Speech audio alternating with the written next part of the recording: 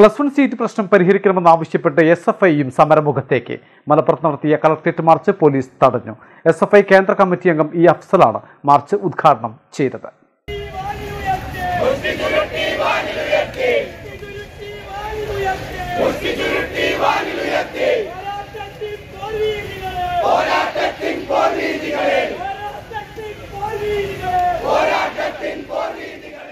ജില്ലയിൽ പുതിയ plus one സീറ്റുകൾ അനുവദിക്കുക എസ് എസ് എൽ സി പാസ്സായ മുഴുവൻ കുട്ടികൾക്കും പഠിക്കാനുള്ള സൗകര്യം ഏർപ്പെടുത്തുക മലബാർ മേഖലയിൽ പുതിയ പ്ലസ് വൺ ബാച്ചുകൾ അനുവദിക്കുക തുടങ്ങിയ ആവശ്യങ്ങൾ ഉന്നയിച്ചാണ് S F I collectorate march നടത്തിയത്.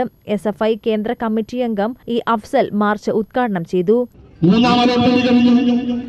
ഇതുവരെ അധിക ബാച്ച് അനുവദിച്ചു കണ്ടില്ല. അപ്പോൾ എസ് എഫ് ഐ സമരത്തിലേക്കാണ് സ്കൂളുകളിൽ ഞങ്ങൾ പഠിക്കില്ല.